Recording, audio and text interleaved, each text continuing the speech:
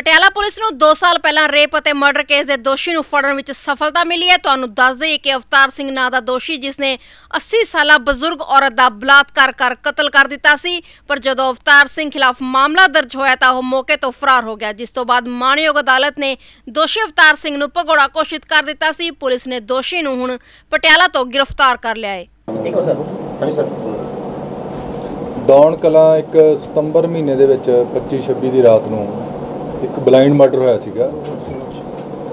ਕਰਤਾਰ ਕੌਰ ਜਿਹੜੀ ਹੈ ਲੇਡੀ ਸੀਗੀ 80 85 ਸਾਲ ਦੀ ਲੇਡੀ ਸੀ, ਬਜ਼ੁਰਗ ਔਰਤ ਸੀਗੀ। ਬੜਾ ਉਹਦਾ ਘੱਟ weight ਸੀਗਾ, ਮਤਲਬ ਅਪਰੋਕਸੀਮੇਟਲੀ ਕਹਿ ਸਕਦੇ ਆਪਾਂ 40 ਕੁ ਕਿਲੋ ਦੇ ਆਸ-ਪਾਸ ਉਹਦਾ weight ਸੀ। ਉਹ ਹਮੇਸ਼ਾ ਹੀ, ਕਿਉਂਕਿ ਗਰਮੀ ਦਾ ਮੌਸਮ ਸੀ ਤੇ ਉਹ ਅਕਸਰ ਹੀ ਆਪਣਾ ਮੰਜਾ ਜਿਹੜਾ ਹੈਗਾ ਗਲੀ 'ਚ ਲਾ ਕੇ ਤੇ ਉੱਥੇ ਸੌਂਦੀ ਸੀ। ਤੇ ਮਿਡਨਾਈਟ ਇੱਕ ਅਣਪਛਾਤਾ ਆਦਮੀ ਆਇਆ। ਉਹਨੂੰ ਉਹਨੇ ਮਤਲਬ ਉਸ ਤਰੀਕੇ ਨਾਲ ਉਹਨੂੰ ਚੱਕਿਆ, ਚੱਕ ਕੇ ਖੇਤ ਦੇ ਵਿੱਚ ਲੈ ਗਿਆ ਤੇ ਉਸ ਨਾਲ ਉਹਨੇ ਜਾ ਕੇ ਉੱਥੇ ਉਹਦੇ ਨਾਲ ਰੇਪ ਕੀਤਾ। ਜਦੋਂ ਉਹਨੇ ਲੇਡੀਜ਼ ਨੇ ਉਸ ਨੂੰ ਪਛਾਣ ਲਿਆ, ਨਾਂ ਲੈ ਕੇ ਬੋਲੀ ਵੀ ਮੈਂ ਤੈਨੂੰ ਪਛਾਣ ਲਿਆ, ਤਾਂ ਉਸ ਬੰਦੇ ਨੇ ਸੋਚਿਆ ਵੀ ਮੈਂ ਹੁਣ ਇਸ ਮਤਲਬ ਫਸ ਜਾਵਾਂਗਾ। ਉਹਨੇ ਇੱਟ ਲੈ ਕੇ ਇੱਟਾਂ ਦਾ ਉੱਥੇ ਇੱਕ ਮਤਲਬ ਚੱਕਾ ਲੱਗਿਆ ਸੀ ਉਹ ਤੋਂ ਇੱਕ ਇੱਟ ਲੈ ਕੇ ਉਹ ਲੇਡੀ ਦੇ ਸਿਰ ਦੇ ਵਿੱਚ ਮਾਰੀ। ਜਿਹਦੇ ਨਾਲ ਕਿ ਲੇਡੀ ਦਾ ਮਤਲਬ ਮੌਕੇ ਤੇ ਉਹ ਦਮ ਤੋੜ ਗਈ ਤੇ ਉਸ ਲੇਡੀ ਨੂੰ ਉਹਨੇ ਚੱਕ ਕੇ ਫਿਰ ਵਾਪਸ ਉੱਥੇ ਹੀ ਮੰਜੇ ਉੱਤੇ ਪਾ ਦਿੱਤਾ। ਤੇ ਸਵੇਰੇ ਜਦੋਂ ਘਰਦਿਆਂ ਵੱਲੋਂ ਦੇਖਿਆ ਗਿਆ ਕਿ ਇੱਕ ਬੇਦਰ ਕੇ ਰਾਤ ਕੋਈ ਲੇਡੀਜ਼ ਨੂੰ ਇਹਦੇ ਸਿਰ 'ਚ ਇੱਟ ਮਾਰ ਕੇ ਗੁ ਮਾਰ ਗਿਆ, ਉੱਥੇ ਖੂਨ ਦਾ ਕੋਈ ਇੰਨਾ ਕੋਈ ਵਹਾਅ ਨਹੀਂ ਕਹਿ ਸਕਦੇ ਸੀਗੇ ਜਿੰਨਾ ਕਿ ਉੱਥੇ।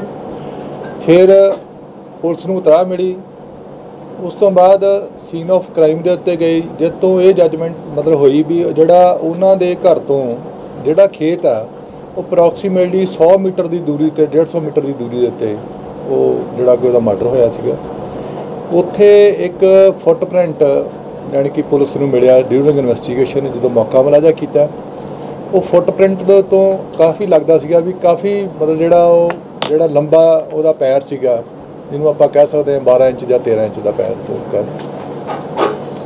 ਉਸ ਦੇ ਤੋਂ ਥਿਊਰੀ ਮਤਲਬ ਚੱਲਦੀ ਰਹੀ। ਫਿਰ ਇੰਸਪੈਕਟਰ ਜਸਵਿੰਦਰ ਸਿੰਘ ਟਵਾਣਾ ਨੇ ਜਦੋਂ ਮਤਲਬ ਇਸ ਦੇ ਤੇ ਇਧਰ ਐਸਐਚਓ ਆਏ, ਅਸੀਂ ਦੋਨਾਂ ਨੇ ਜਾ ਕੇ ਉੱਥੇ ਮੌਕੇ ਦਾ ਪ੍ਰੋਪਰ ਮੁਲਾਜ਼ਾ ਕੀਤਾ। ਮੁਲਾਜ਼ਾ ਕਰਨ ਤੋਂ ਬਾਅਦ ਫਿਰ ਉੱਥੇ ਸਾਰੇ ਲੋਕਾਂ ਦੇ ਨਾਲ ਵਿਚਾਰਾਂ ਸਾਂਝੀਆਂ ਕੀਤੀਆਂ ਜਿਸ ਤੋਂ ਇਹ ਗੱਲ ਸਾਹਮਣੇ ਆਈ ਵੀ ਅਵਤਾਰ ਸਿੰਘ ਇੱਕ ਗੁੰਗਾ ਹੈ, ਉਹਨਾਂ ਦੇ ਪੜੋਸ ਦੇ ਵਿੱਚ ਹੀ ਰਹਿਣ ਵਾਲਾ, ਵੀ ਉਸ ਦੇ ਉੱਤੇ ਸ਼ੱਕ ਕੀਤਾ ਜਾ ਸਕਦਾ ਵੀ ਉਹ ਬੰਦੇ ਦਾ ਪੈਰ। ਫਿਰ ਅਸੀਂ ਬਹੁਤ ਡੰਗਾਈ ਦੇ ਨਾਲ ਉਹਦਾ ਮਤਲਬ ਪੈਰ ਦੇ ਤੋਂ ਹੀ ਉਹਦਾ ਕਲੂ ਚੱਲਦਾ ਰਿਹਾ।